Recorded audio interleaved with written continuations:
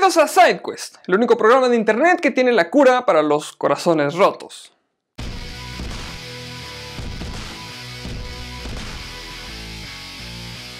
Científicos han modificado exitosamente el ADN en el corazón humano para corregir mutaciones que causan enfermedades mortales. Si la tecnología de modificación genética resulta ser segura, podría curar permanentemente a niños con un desorden genético en particular, que de hecho los deja en silla de ruedas de por vida una vez que llegan a la adolescencia. El trastorno genético en el cual se enfoca el estudio es llamado distrofia muscular de Duchenne, o DMD, un desorden que afecta a uno de cada 5.000 varones y causa un deterioro progresivo de los músculos esqueléticos y del músculo del corazón. Los investigadores tomaron células de pacientes con la enfermedad y usaron la herramienta de edición de genes CRISPR-Cas para corregir hasta en un 60% las mutaciones que causan el padecimiento. Eso fue suficiente como para permitir que el tejido cardíaco tratado con esas células modificadas en un plato de Petri puedan volver a funcionar como lo harían en un corazón. Esto según un estudio publicado en Science Advances. En años anteriores, los científicos han utilizado la modificación de genes para tratar o curar una variedad de desórdenes genéticos debilitantes, tales como el síndrome de Hunter y la cardiomiopatía hipertrófica. El estudio de hoy enfrenta otra desagradable enfermedad, haciendo crecer las esperanzas de que una cura definitiva podría estar a solo un par de años de distancia. Es un paso muy importante en el desarrollo de terapias genéticas que básicamente consisten en modificar los genes para prevenir enfermedades. Un biohacker se inyectó con un tratamiento casero para el herpes en frente de una audiencia en vivo. Aaron Drywick, quien dirige la firma de biotecnología Ascendance Biomedical, usó un tratamiento experimental para el herpes que no pasó por el proceso típico de ensayos clínicos y pruebas de seguridad. En vez de ser desarrollado por científicos investigadores en laboratorios, fue creado por un biohacker llamado Andreas Sturmer, quien tiene una maestría y es un bioemprendedor y amante de la ciencia. Credenciales que al parecer son suficientes para crear y probar un medicamento para el herpes. Esta es la manera típica de actuar de Ascendance. La compañía cree que las regulaciones del gobierno para el desarrollo de tratamientos son muy lentas y que teniendo a los biohackers para llevar a cabo las investigaciones y experimentar sobre ellos mismos pueden acelerar el proceso para el beneficio de todos. En el pasado, los planes de la compañía incluían tratamientos para revertir la menopausia, un método que de hecho actualmente se encuentra en ensayos clínicos y no está muy lejos de convertirse en una realidad.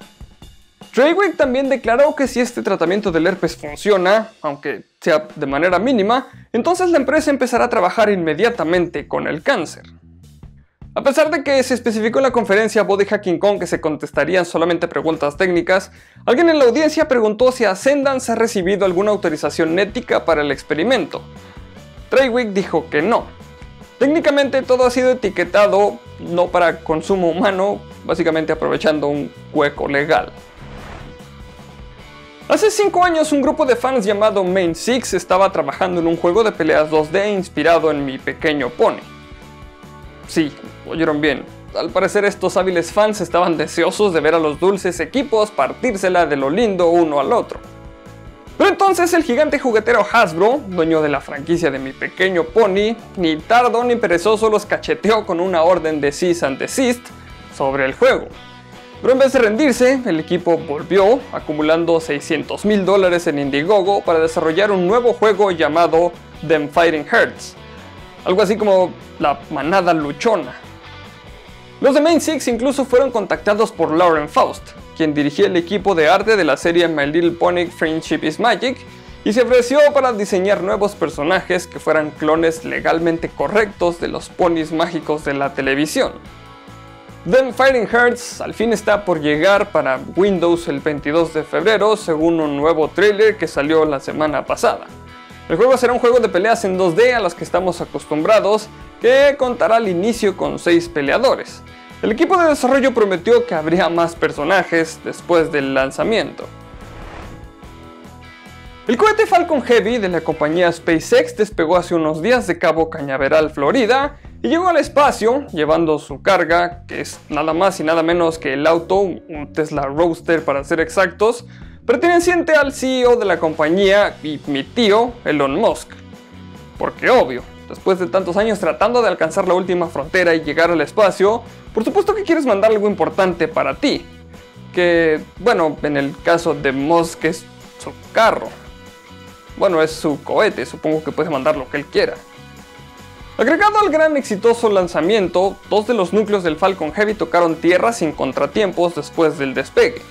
Los dos propulsores se separaron en medio vuelo y regresaron al cabo, tocando tierra aproximadamente a unos 300 metros uno del otro, sobre las plataformas de concreto de SpaceX, las zonas de aterrizaje 1 y 2. Sin embargo, el núcleo central, que se separó de la parte superior del vehículo de manera correcta, no aterrizó como se esperaba sobre uno de los barcos drone que la compañía tiene en el Océano Atlántico. Un detalle mínimo que deja a SpaceX con una cifra de 23 lanzamientos exitosos.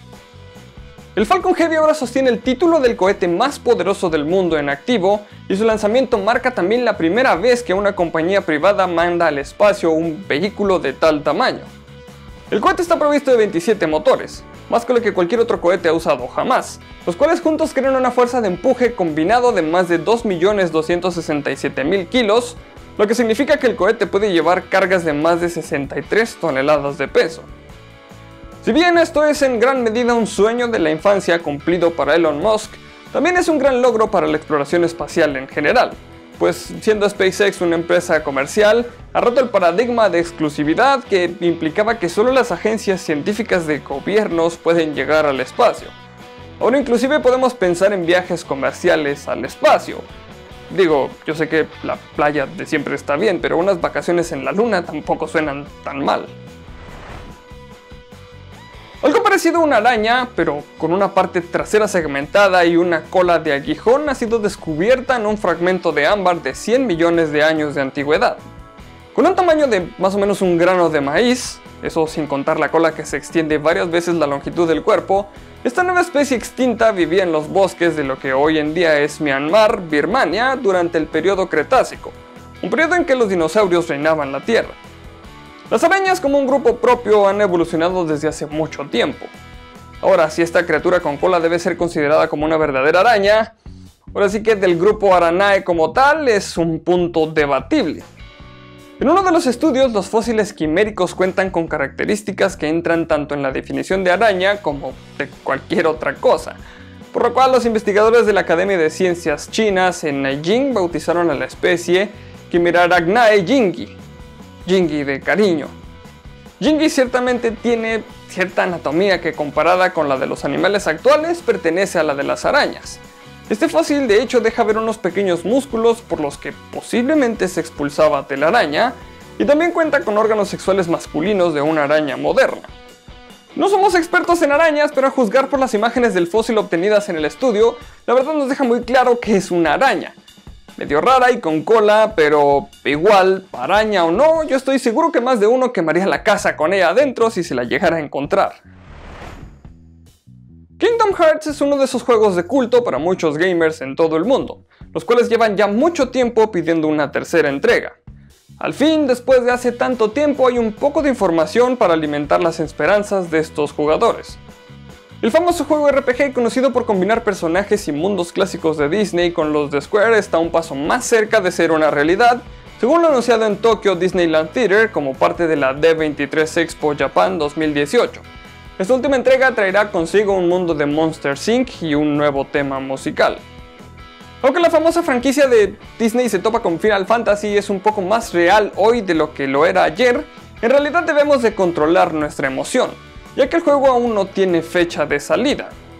Vale la pena recordar que aunque Kingdom Hearts 2 salió en 2005 para el PlayStation 2, el título no ha estado tan ausente todo este tiempo, ya que ha tenido varias adaptaciones para varias consolas portátiles. Sin embargo, estos títulos no fueron en realidad muy exitosos. O sea, sí, se vendieron, pero en realidad no tuvieron la recepción esperada. Tetsuya Nomura, el diseñador principal de los juegos, estuvo ocupado con el proyecto de Final Fantasy Vs 13 hasta que se reinició como Final Fantasy XV, que fue anunciado al mismo tiempo con Kingdom Hearts 3 en la E3 del 2013.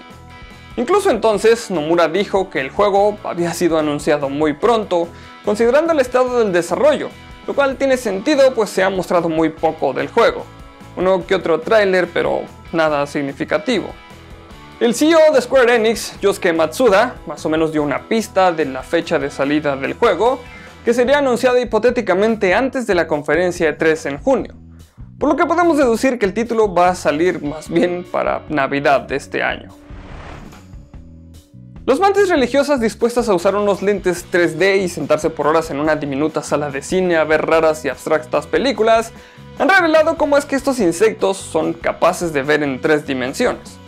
Estos descubrimientos pueden ayudar a mejorar las tecnologías de visión utilizadas en maquinarias o robots, para darle así la capacidad de evaluar factores como por ejemplo distancia y profundidad, aspectos muy importantes como por ejemplo para los drones. Estos carnívoros, y de hecho usualmente caníbales, son bien conocidos por su postura en la que parece que están rezando, y también por el peculiar detalle de devorar a su pareja después del acto sexual. Junto a estos detalles característicos de las mantis también se encuentra la capacidad de ver en tres dimensiones. De hecho, es el único insecto conocido que puede ver como nosotros y que es capaz de procesar conceptos como la profundidad. Esta investigación ha sido un tanto difícil porque para empezar no importa cuántas veces le preguntes a la mantis, ¿Qué onda mantis? ¿Cómo ves? El insecto jamás te contesta. Por lo que los científicos desarrollaron lo que ellos llaman cine 3D para insectos. Así como también unos diminutos lentes 3D como los que podías armar tú mismo en los 90 De esos que tienen un lente de color azul y otro rojo para probar la visión de las mantis. Gracias a esto, los investigadores lograron descubrir que el cerebro de las mantis ajusta de manera automática las imágenes para discernir entre el fondo y un blanco en movimiento, como por ejemplo una posible presa. Muchas gracias por ver este capítulo, si el video te gustó y quieres ayudarme a seguir haciendo videos y a mejorar el contenido, o si simplemente me quieres invitar a una cerveza por el buen trabajo, en la descripción del video te voy a dejar el link a mi Patreon. O simplemente puedes compartir el video con tus amigos y si no estás suscrito al canal, ese es el mejor momento para hacerlo. Los saludos de hoy son para David Manzanero, para Oscar José López Díaz, para Luis Daniel Morales Valdés, para Braulio García y por último un saludo para Ana Paula Villalba y su novio. Ya sabes que si quieres que te salude solamente tienes que dejar un comentario. Por aquí abajo te voy a estar dejando mis redes sociales para que me sigas y podamos estar más en contacto y recuerda que hay videos nuevos todos los martes, miércoles y viernes. Recuerda también darle clic a la campanita para que te lleguen todas las notificaciones de los videos. Solamente me queda recordarles que mi nombre es Arnoldo Montaño y como siempre, nos veremos en el futuro.